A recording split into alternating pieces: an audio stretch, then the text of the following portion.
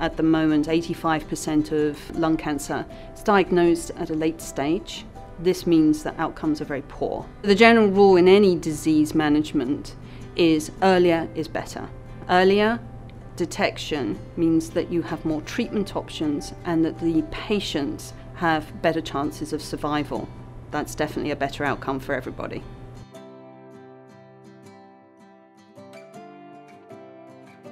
Current healthcare is developing out of the traditional space of just a clinical test.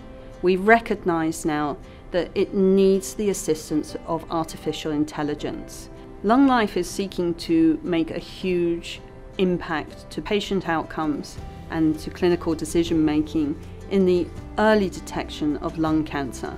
Most lung cancer cases are caught in late stage disease where there's not a lot of impact that can be had. At Lung Life, we're trying to shift that where most can be diagnosed with early stage, such that you can have intent to cure surgery.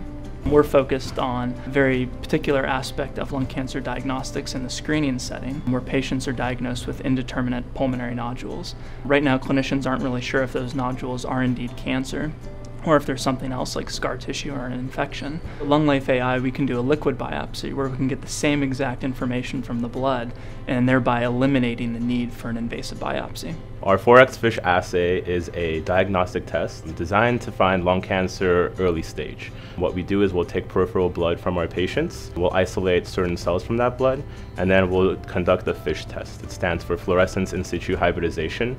We'll scan them and then we'll have technicians analyze the cells and the results. Going through thousands and thousands of cells, it's very difficult and it's very rigorous. Working with Persistent allows me to really focus my time where I can bring better value to the company.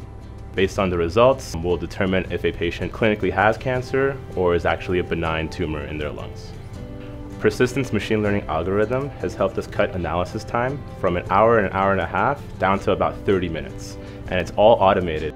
Having the opportunity to work with Persistent Systems on developing a machine learning algorithm to help us with our studies and understand the biology behind this disease has really spearheaded this effort, and it's really accelerated our work here.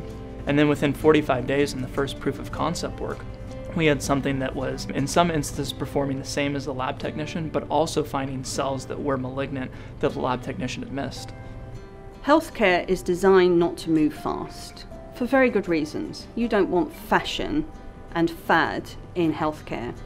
AI is able to now bring a level of rigor, and what we're seeing now is a growing realization in healthcare that you can actually use these tools to be able to improve performance, increase clinicians' effectiveness, and to be able to tap into their higher level judgments to testing, which I think is really important and is valuable for everybody.